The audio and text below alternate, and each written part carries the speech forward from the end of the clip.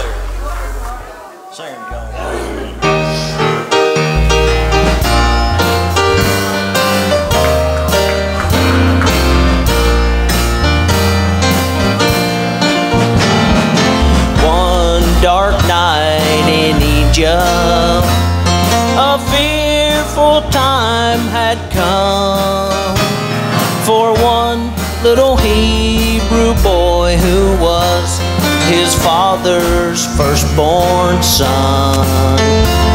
With the angel of death passing low, it was hard.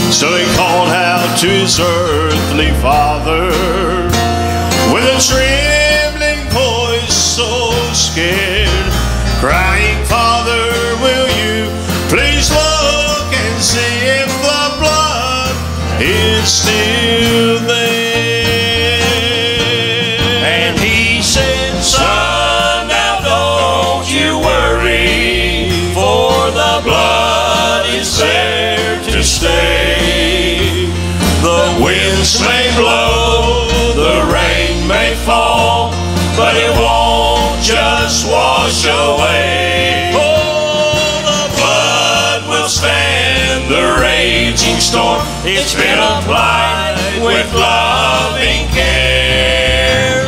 Safe, secure, you can rest assured that the blood is still there. Looking over the damage that Satan stole.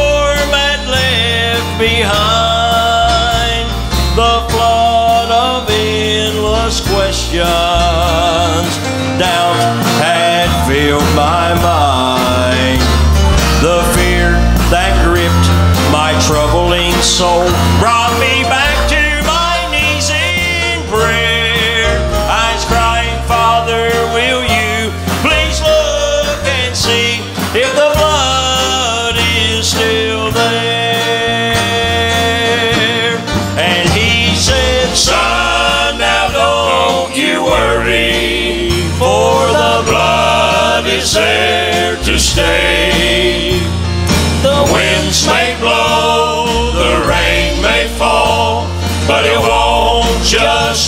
wash away. Oh, the blood will stand the raging storm. It's been applied with loving care. Safe, secure, you can rest assured that the blood is still there. Safe, secure, you can rest assured that the blood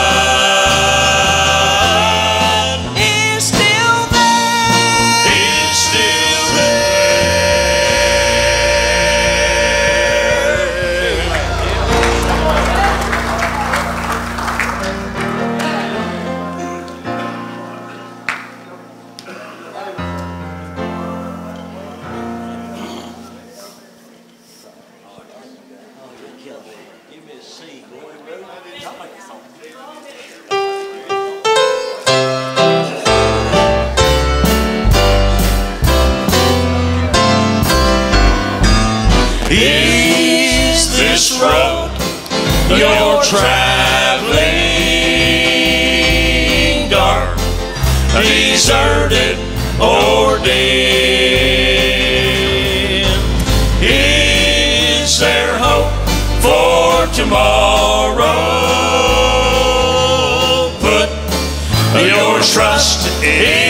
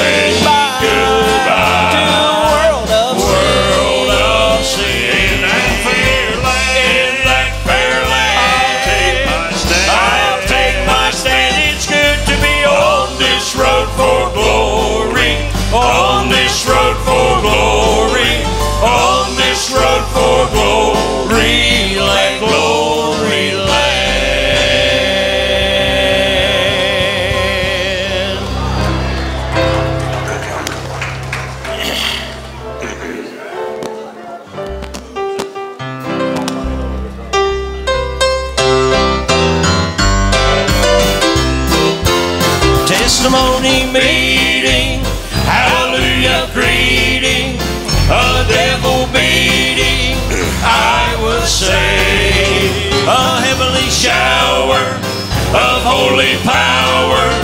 That's what we're needing here today. Testimony meeting, hallelujah free a devil beating.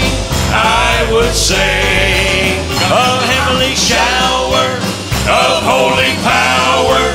That's what we're needing.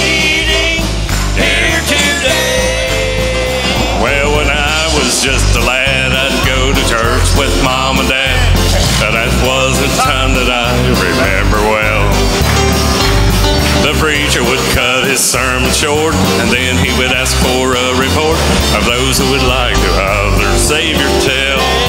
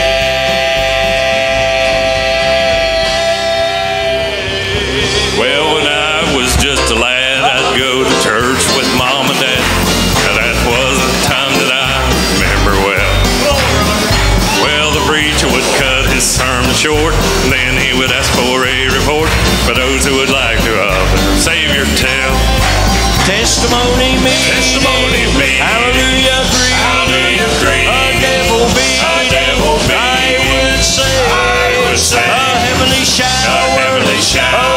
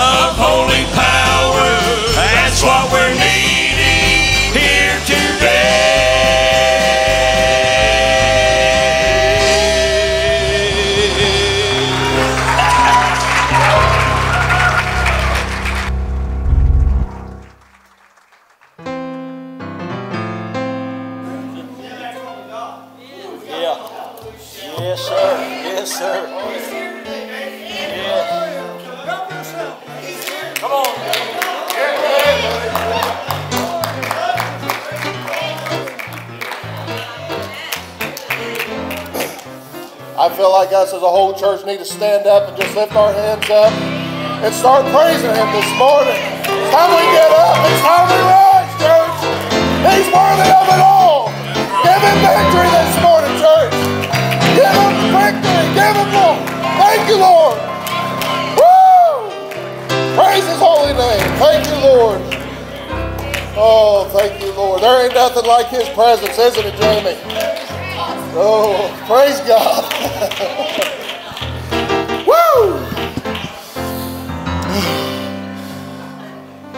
I know God ain't done.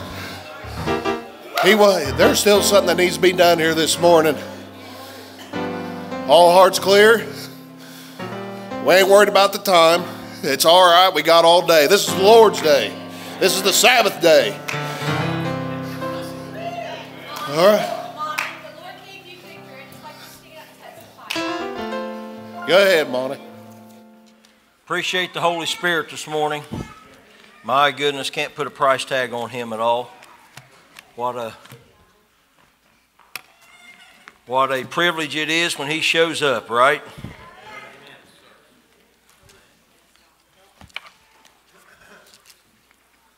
We're going to give you what God's give us. We've, we've uh, been studying on this this week and feel that it's very needed and feel it's for today.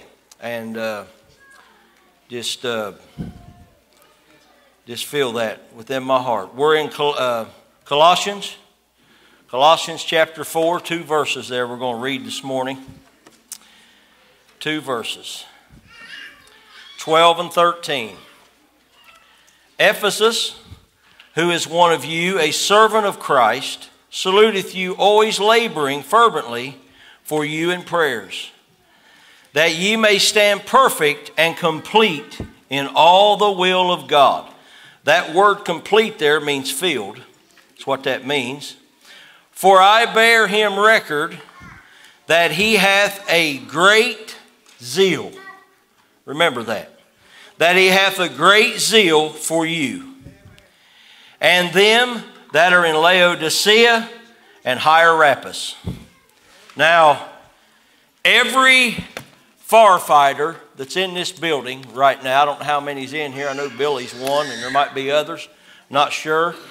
Emma, I think, does some when she ain't in the hospital, but some of them,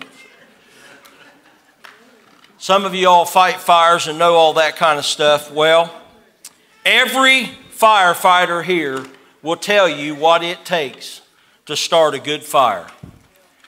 It takes a good wind, a flame, and something to burn. That's what it takes to start a, to start a fire. I've read to you about a man named Epaphras this morning. We don't know much about him. That's only what's in Colossians here. But from what we can gather, he was saved under Paul's preaching. Epaphras was. And it seemed that he was responsible for leading many of the Colossians to the Lord. He also took the gospel to Laodicea and Higher, Hierapolis. All three of these cities were in the same river valley. And this one zealous man is accountable. You go back and you read in your, in your concordance and things. He was responsible in leading many of these people to Jesus Christ in these three different cities. Now that's pretty big. One, it took one zealous man, but he was zealous and he got out to do that. Think, think about Epaphras for just a minute. He was, a, he was zealous for the Lord, the Bible says. He was zealous for the Lord. The Greek word zeal means burning. Burning. Beech Fork's word for zeal would be fired up. That'd be my word this morning. Fired up. This man was fired up for the Lord, and he was fired up in leading people to Jesus Christ. He was a man that was 100% sold out for the work of the Lord. That's what he was. Think about what would happen around here, Bob, if we could get a few men fired up for the Lord. Boy, listen how dead you are. You're pitiful. You're pitiful. Listen, listen to me. I'm being serious this morning. This is what God showed us. Think about what could happen here if we could get some men fired up for the Lord. It would be amazing what would happen around this place. Think about if we had some men that were truly fired up for the Lord. Think about what would happen in our homes, in our community, and in this church. If we had some men fired up for the Lord. Fired up. You know what fired up means? It means passion. It means passion. Now, to me, I get passion about October, September, around in there when the Ohio State Buckeyes are 10 and 0 and they're, and they're playing and they're thumping everybody. I get fired up about that. I get fired up when the Bengals go into the playoffs hot and they start beating teams and, and beating teams that the ESPN guys say they can't beat and are beating them anyway. Cool Joe hitting the passes down the field. That fires me up. Can't help it. It fires me up. It fires me up when us guys get together and play a little golf and, and I like to laugh at you and you like to laugh at me and we get fired up about that, right? I don't know what fires you up, man. Maybe it's hunting. Maybe it's fishing.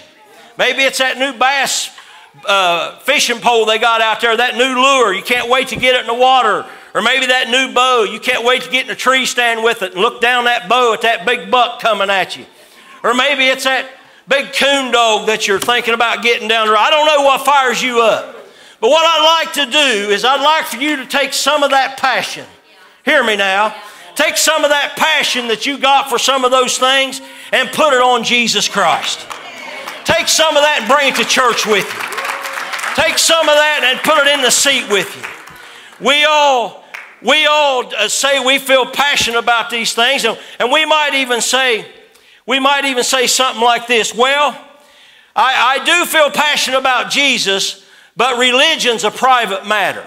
Well, maybe religion's a private matter, but Christianity, my friend, is a public thing. That's Bible. Here's what, here's Jesus, Jesus didn't say, sit on the gospel and don't tell anybody you're a Christian unless you're asked. Here's what Jesus said, go make disciples. Here's what else he said. He said, you shall be my witness. He wants you to go spread this thing. What the world needs today is not more politics. We don't need more Democrats or Republicans. We don't need any more of that nonsense. We don't need any more welfare. We don't need any, any more uh, petitions going around. What we need more than anything are men to step up and get on fire for God where they need to be. Some of you don't believe me, you're awful quiet. But I'm telling you the truth this morning. That's what this country needs. Do you realize we're just about in war? We're just about to go to war. World War III is about to happen. Things are getting shot out of the air. Russia's breathing down our throat. China's breathing down our throat. The little short feller over there is breathing down our throat. They're wanting to go to war with us. We don't get some men on fire for God and back on our knees and get our family saved and back in the house of God, they may not have another opportunity. A button could be pushed while we was asleep at night, and this world could be over with. That's how real this thing is. What will it take to get some men on fire for God like Epaphras? Earlier, I told you what it would take. It takes three ingredients it takes a good wind, it takes a flame, and it takes something to burn. That's what it takes to get some men on fire for the Lord in our churches. It takes a good wind, it takes a flame, and it takes something to burn. I love services like we had here this morning. People minding the Lord. The Holy Spirit having His way. Folks coming to the altar, getting rid of their convictions, getting rid of their, getting rid of the things they've been packing around. I love that. I love when the Holy Spirit falls on this place. I love when the Holy Ghost gets down my neck and starts crawling in my back. And I love that feeling. I love it. I love to see those young people on their feet, minding God and running around here, feeling the Holy Ghost. They'll never be the same. They'll never be the same once they taste of that and take that with them into the world. I love that here. I love the Holy Spirit here. And I want to keep it here, don't you? I want to keep it here. The first thing ingredient it takes to start a good fire is a big wind. How can a wind fire up men for the Lord? Well, the Greek word for spirit happens to be wind. The Greek word for spirit happens to be wind. What fires up men for the Lord is a holy wind. A holy wind. Let's translate that holy wind into the Holy Spirit. Acts chapter 2, verse 2 says this And suddenly there came a sound from heaven as a rushing, mighty wind, and it filled all the house where they were sitting. I like when that wind comes down in these windows or however it shows up in here and begins to come in and out of these pews and pecking people on the shoulder that ain't moved in a while and gets in their bones and, and it makes them want to jump up and holler, Praise the Lord, and they don't know why. It's that wind I'm talking about. That's that wind. We got to have that to start a fire. We got to have that to start a fire. What better way to fire up men for Jesus and the Holy Spirit? And the Holy Spirit happens to be available here. It happens to be available here. In fact, if we're a Christian, we have access to the Holy Spirit because He lives in here. The Holy Spirit lives in us. Think of the potential we have dwelling within us. Can you comprehend that? I've been trying to comprehend that, Tom, this week. Think of the potential that's living inside me. And what am I doing with it part of the time? Not much sometimes. Think of the potential. We have God in us, filling us with His presence. Think about the limitless, possibilities we have. We have the Holy Spirit that lives inside us. That same Holy Spirit that filled Peter, James, and John lives in Doug, Tom, Tyson, Mike, Roger, and Dad, and Roger lives in every one of us, Johnny. That same Holy Spirit that lived in these men live in us today. That same Spirit that lived in Epaphras that made him zealous is in us today. God has equipped us with that same Holy Spirit, and He has equipped us with the same Spirit His disciples had. That should excite us. But listen, it don't. Just telling you the truth. It don't. It should excite us, but it don't. We all place Peter, James, and John up on this high spiritual pedestal. Do you realize they put their britches on the same way we did? Same way we do? We have that same Holy Ghost living inside us. We're just scared to use it sometimes. We have access to the same power we did. God's not holding out on us, Roger. A matter of fact, if we're not fired up, we're holding out on Him. It's just that simple. We're holding out on Him. The first ingredient needed to start a big fire is already available. We have the wind, it's indwelling within us. I'm happy to say it shows up around here all the time when we have church. That Holy Spirit. That Holy Spirit is always welcomed inside this place. A matter of fact, if you go to Beech Fork Church, or you know anybody that goes to Beech Fork Church, or you're affili- affiliated with this church in any way, and you die lost and go to hell, that's 100% on you. Because we have the Holy Spirit in this place. The Bible says it takes the Holy Spirit to draw men to be saved. So we try to create the atmosphere for the Holy Spirit to do His work in. We're doing our part. If you ignore it, push it off, walk out those doors, that's on you. That's going home with you. You can't point your finger at us. Do you know what it takes for the Holy Spirit to draw men? It, to draw men into this place, it takes the Holy Spirit to draw men to this place, right? Well, that being said, Beech Fork is a blessed place because I got news for the devil this morning, or news for anybody that wants to hear. Edwin, I got news this morning, and it's this. Here it is. Beech Fork runs and operates on the Holy Spirit.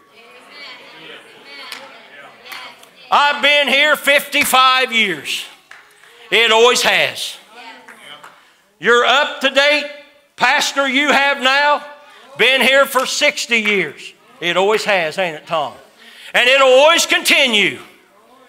How do I know that? I got a confidence in him 100% that it'll continue right down the same path, being operated and dwelt, and the Holy Spirit be brought here.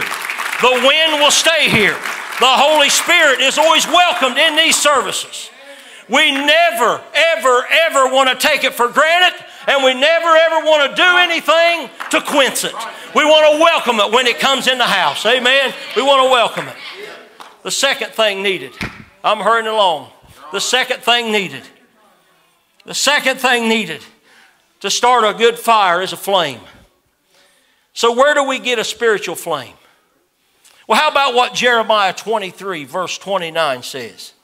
Is not my word as a fire, saith the Lord, and like a hammer that breaketh the rock into pieces?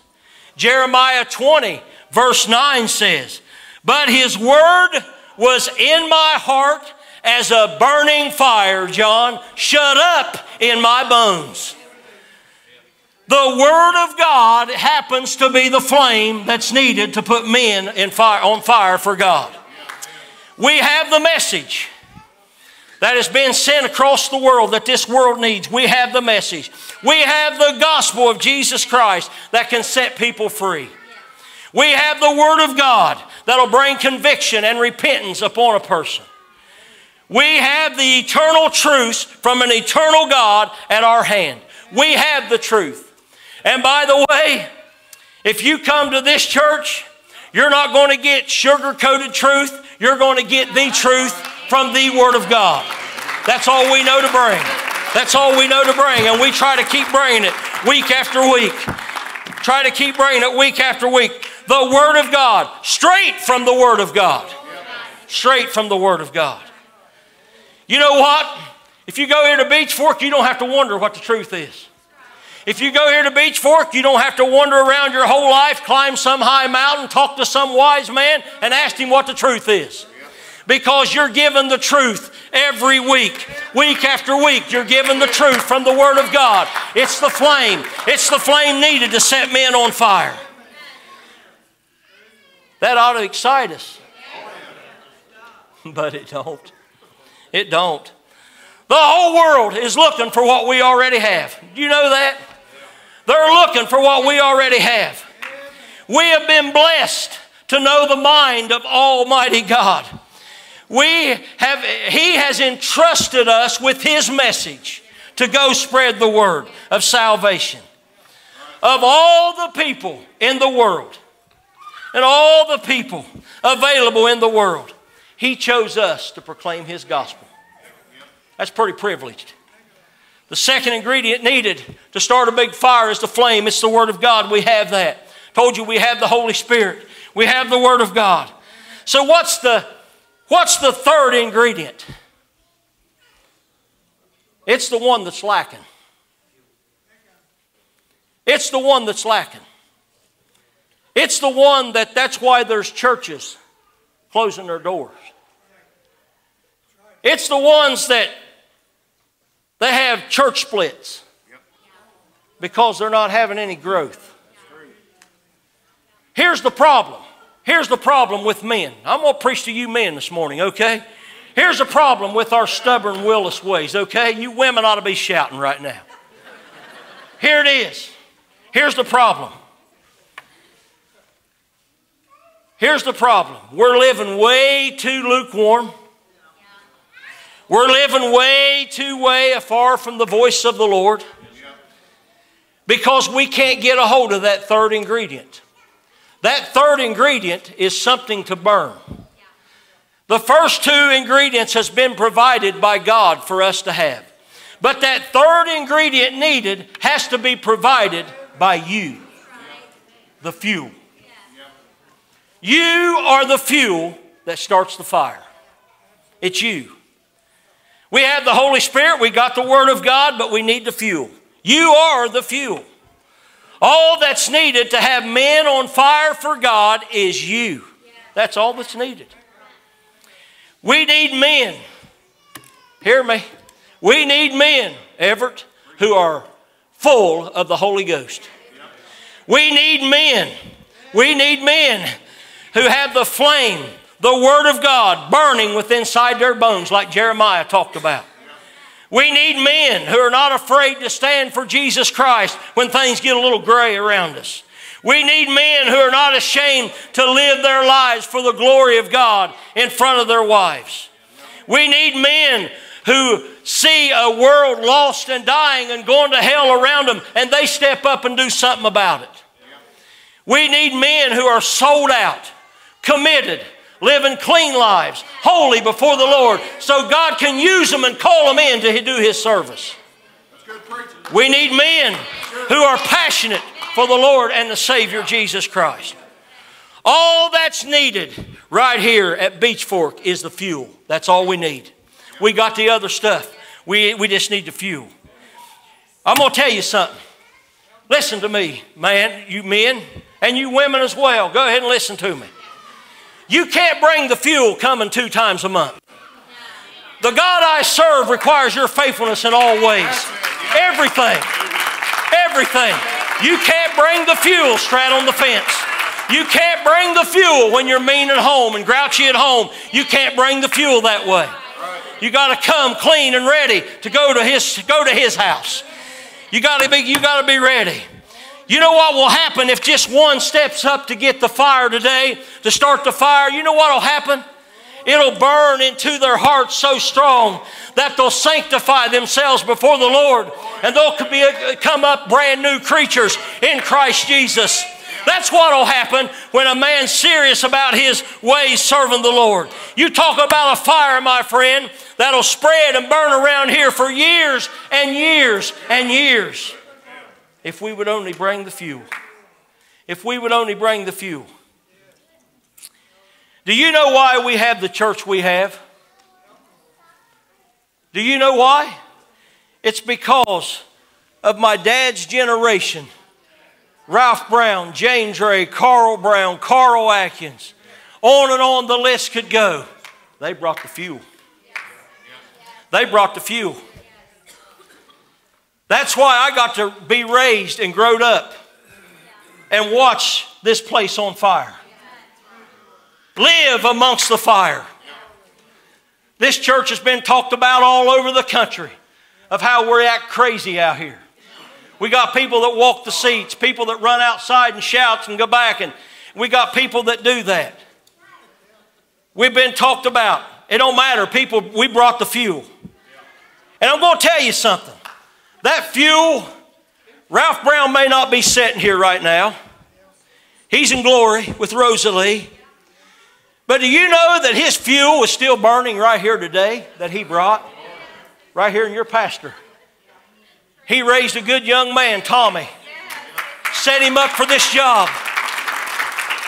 Because of Ralph and Rosalie bringing the fuel, we got a pastor that's bringing the fuel, showing his kids what they need to do to bring the fuel. I'm telling you, you know why we've got probably one of the most fired up Sunday school superintendents in the land? It's called Scott and Rhonda for over 30 years has brought the fuel. Being honest with you, I'm telling you, it takes something. It costs something to bring the fuel.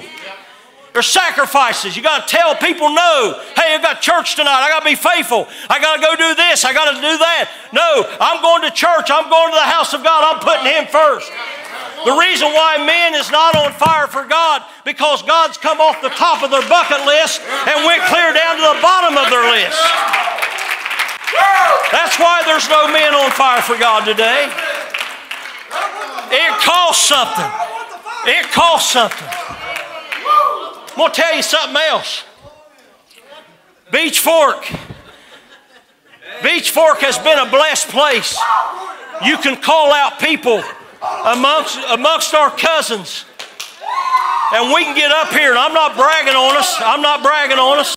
I'm just telling you the truth because you all know you all go here.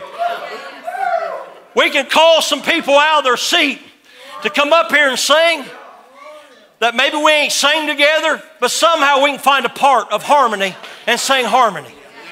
Do you know why that is? It's because Carl and Bernice brought the fuel.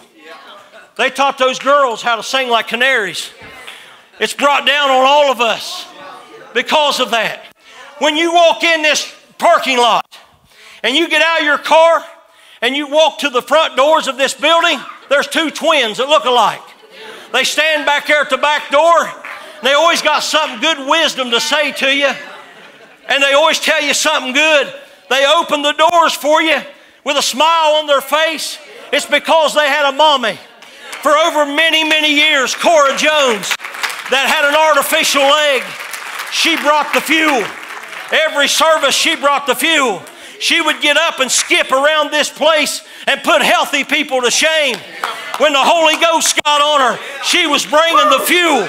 Now, today, because she brought the fuel, the doors of our church swing open by her two sons that let everybody come in. Hallelujah! Hallelujah! And sit down in the presence of God. Glory be to God. Praise His name. Praise His name. Woo! Woo! Hallelujah.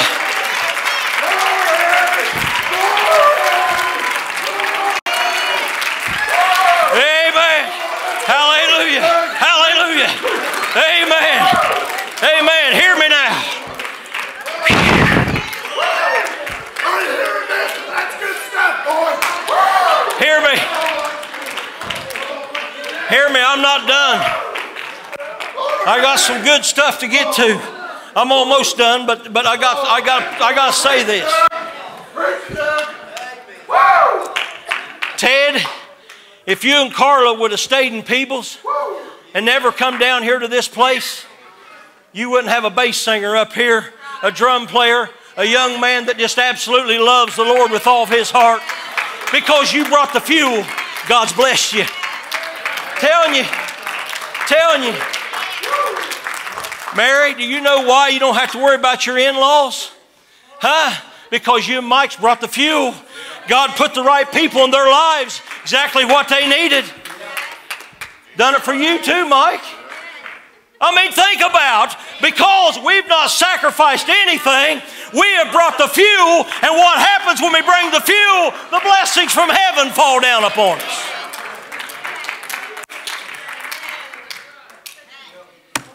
I'm going to tell you something. We need to keep this church the way it is. We need to keep it run the way it is, operating on the Holy Spirit from now on. Because I got grandbabies in this place.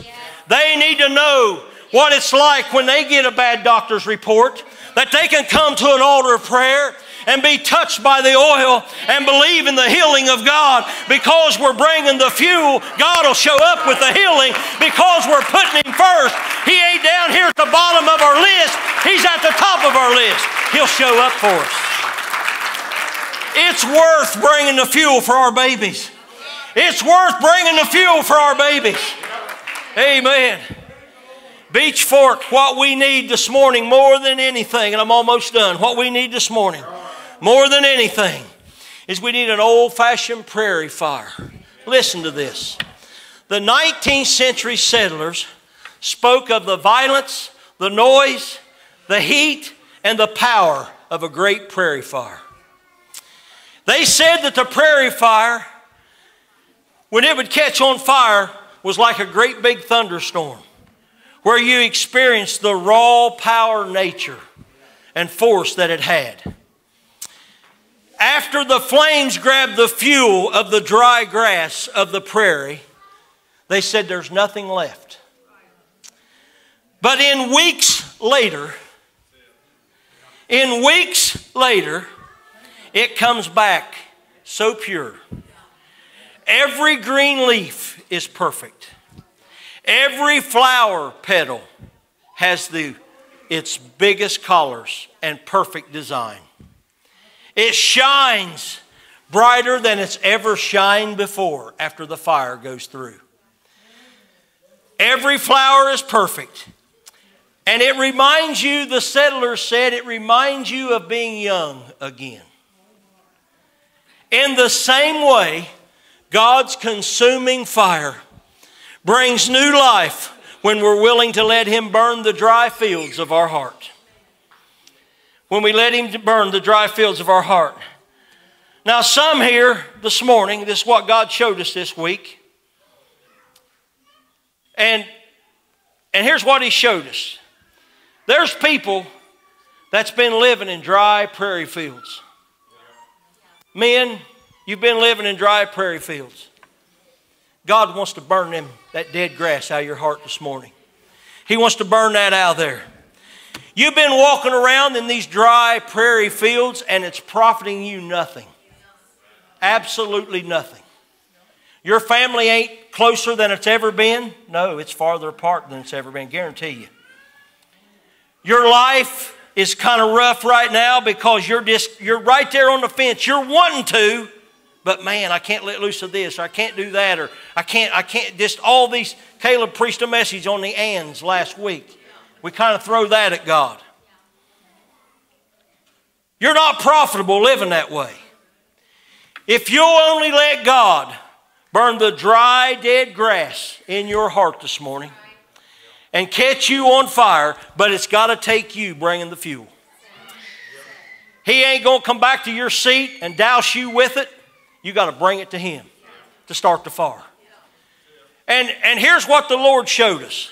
Now, you may think I'm crazy, but I don't really care. I feel really good right now. So I don't really care what you're thinking. Me and Tom both preached a message, and that's what this shovel and this rake's for. It's a couple messages we preached. You guys all signed this shovel. I won't read your name and shame you, but you all signed this shovel. Tom preached a message about cleaning out your well. Remember the message? Wonderful message. Wonderful message. Bob Dement owns a hardware store over there, and he always fixes us up when we do something off the wall with some message. He'll bring something what we need. Some of you might need to grab this shovel this morning. Oh, Doug, I can't do that in front of everybody. What will Amy think of me? Amy, you won't think nothing, will you? See there?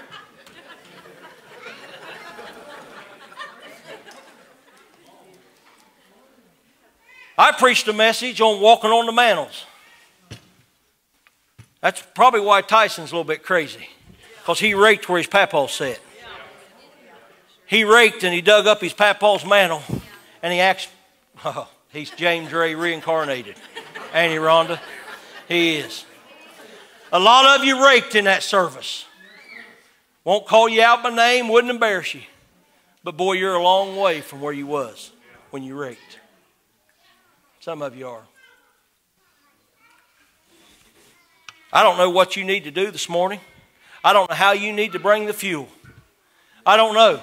I don't know how you, how you need to bring the fuel, but you need to bring the fuel. Scott gets a song, Tommy goes to the piano, Jeff or whoever goes to the piano and plays. That's mine to Lord this morning. Hey, we're all family. We all love each other. We're all brothers and sisters in Christ. There ain't nobody being judged right now. If the Holy Ghost has spoke to you this morning, if He's asked you to step out of your seat, won't you do it today?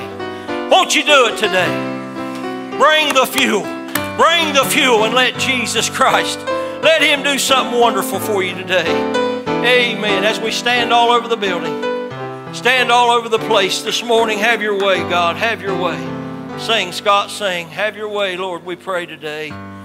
Yes, Jesus, have your way, Lord. Oh, God, have your way. Yes, Jesus.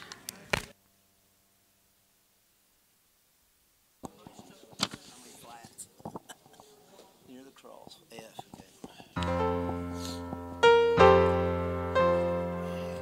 Jesus, keep me near the cross.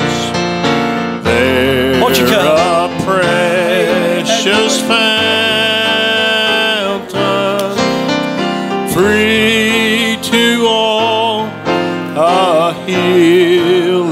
healing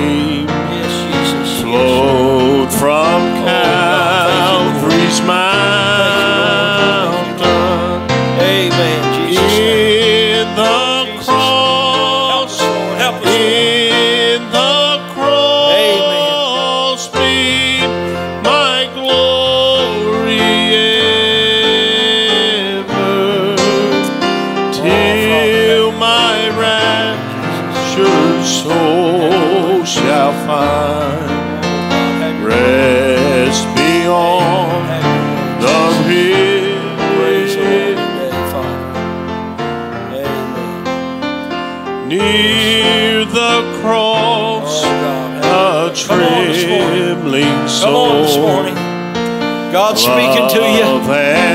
He's speaking to you. He wants to do a great work for you today. He wants to do something great for you. Amen. You got to be willing to bring the fuel. Yes, Jesus. Have your way. sheds its beams around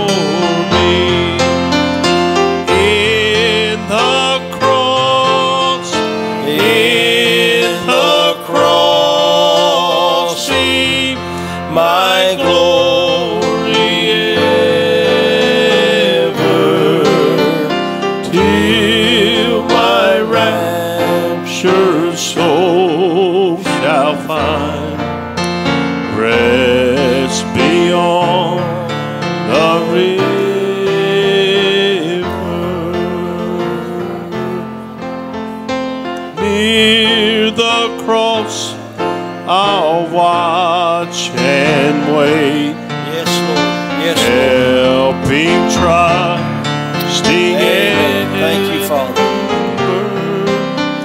till I reach the God, thank you. golden strand Help us, Jesus. Help us, just beyond the river.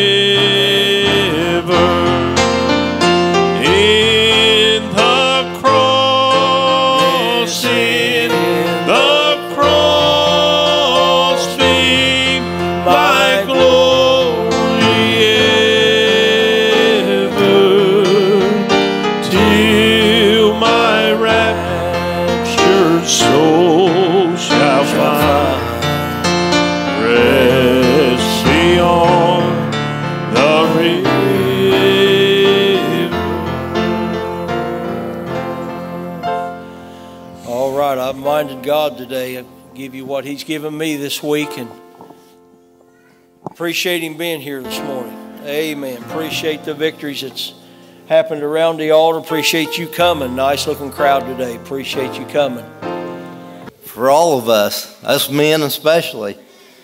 And uh, I, I appreciate the word this morning. I feel like revival's already in the air. Revival fires are burning. Invite somebody out to a service tonight. Wonderful crowd this morning when you all got here. My goodness, we got a great crowd. And I just appreciate you being here this morning. Come back tonight. Brother Caleb's preaching. Ellie Thompson, I believe, from uh, young girl from Valley, I think, going to be singing. I can't understand that. Oh, okay. So we got Luke and Chelsea and other singers singing too. But anyway, just come back tonight. Uh, Brother Caleb's preaching tonight in the service, so look for great things to happen in the Lord. Invite, if you know somebody that needs help, bring them, because this is a place to come and get it. God bless you.